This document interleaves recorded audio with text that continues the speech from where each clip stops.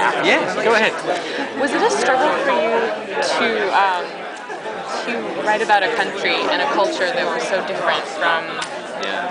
where you grew up and, and what you're used to? I'm, I'm just dying Yeah, but it's very frightening to do that because you have a huge responsibility. Responsibility, exactly. In the days of passage to India, you know, the English could parachute into India and go, right, line up some kids, we're going to make a film about you. You can't do that. Yeah. And nor should you. Yeah. So what I, I went back to my documentary roots really and wandered around the slums for weeks before I wrote anything, just talking to people, asking questions, just me and an interpreter. Um, picking up the gossip, what people talking about. it, And uh, I'd always ask everyone I met, said, if I gave you a camera, what would you make a film about? I'd say, oh, that's easy. We'd make it about gangsters. They're big in the slums at the moment. And, and someone else said, oh, we make a big love story. And, and I, so I got all, everything from them and then shaped it. Because, I, you know, as an outsider, I don't feel qualified to Yeah. come in and say, we're going to do this. Right. And did What you, I, what I did was to try and say, what, what's interesting you? What would you make this film about? so you felt like you were actually immersed in the slums for a while, or was it because that inner you can't? It's the only way to make it authentic is, is to find out what the people who live there are saying, thinking, believing, and then bring that bring that out and then write it all down and shape it. And were they really excited about the idea that you were writing about about them, or were really they puzzled. kind of? They couldn't because yeah. you all the movies they watch from age two upwards, they're all massive movie fans. There's nowhere. it's like America and India are like the only places where the movies are in the DNA of your country. It's not like Britain for sure.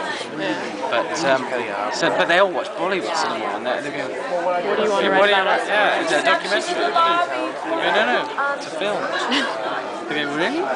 They had, it's just completely out of their knowledge that anyone would make a film set in the slums. Um, but that that's the only authentic way I find of doing it is to just make it from the inside out. Was that a conscious decision? Yeah, because I didn't feel qualified to make it any other way. Did it happen in the moment? That conscious decision? Uh, yes.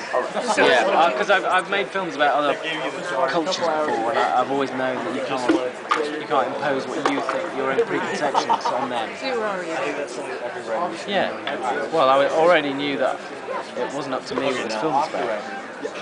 So how is this? Because it sounds like you've had profound experience. How has this changed, Yeah. or has it changed the way you're going to do your films from now on? Yeah, with a much more open spirit, I suppose.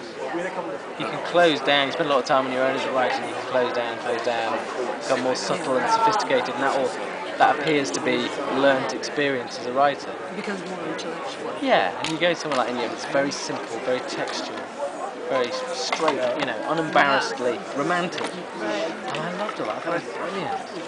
And we- you know, if you talk about love in the West, it's all it's complicated. It's marriage counselling. It's you know, it's all full of complexity and psychology, and it's just not like that. Yeah. It's just me, you, love. Let's go. You know,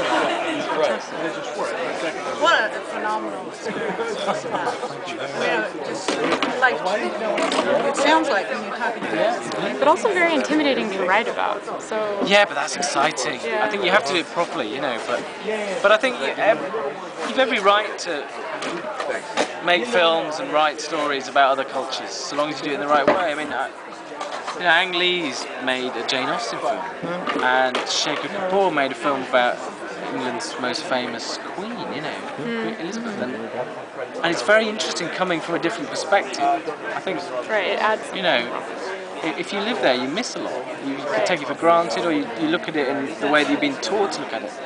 So I think it's really interesting, people coming from other cultures making films about your culture, or us making films about their culture. You just have to do, have to do it with respect and do it in the do it in the right way, really. But, but I think you, I think it's the most exciting thing to do.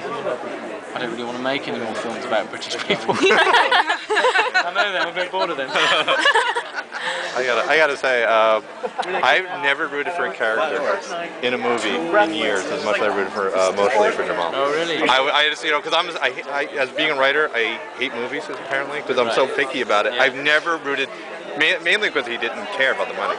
That was probably no, which that's the thing. it was all about the girl. But I've never been so emotionally moved, Oh, and and I was so scared that it was going to end that sad. Because you did a great job of building that up. I know, I didn't realise that. I always thought it was absolutely inevitable he'd get the girl. I know he get the girl, but it was just like it was We just had to try and make it that he wouldn't, but no. I- It would just I just never rooted for a character, and you just you fall in love with the character and her too. I mean both of them, and you know, and the brother. Well, yeah, that was. Uh, was he the, was he difficult to write the brother because he was so he was like he was so loving in some scenes, and then like in the second he would flip yeah. and be you know Well, I sort of wanted to set them up right from the beginning that their paths were going to diverge. One was going to be always driven by a love for something, and the other one was going to be driven by money. yeah. So I sort of set that up, I tried to set it up very early with the autograph. You know, the one guy would Right. go through shit to get and he just to the person he admired most in the whole world, and the other one would just flog it for cash. But then the brother would save him from getting his eyes burned out, which was a Yeah. very emotional scene, and then get rid of the girl. So that was, you know, that's why his character to me was so rich. The brother, the older brother especially, because he was so complex. Yeah, yeah. People aren't all bad and good, are they? There is, it is shifting mixture of the two. Did you, did you get a chance to meet the little kids, work with the kids? Oh yeah, yeah, yeah. Those little kids were amazing. I Yeah, don't know. I, you know, they were from the slums, right? The uh, Jamal of and, yeah. and the girl. Yeah. They were amazing. Uh, But then they're all like that in the slums. They all they grow up on Bollywood movies. They can all do all the dance moves. You know, they're all they love. There's no sense of that inhibitions that, the Western kids have. If you say, well, why don't you improvise a scene? You know, it's all a bit shy and embarrassed. Those guys are all, yeah, great. We're in the movies. You know, they're very fun to work. with. and I'm sure you're going to the Academy Awards, right? Yeah. Got a speech ready just in case? or you don't want? Yeah, I know you want to talk about that. I just wanted to say congratulations. Oh, thank you with very much. I think you got the 70s for Indian film coming out now because of that. You what?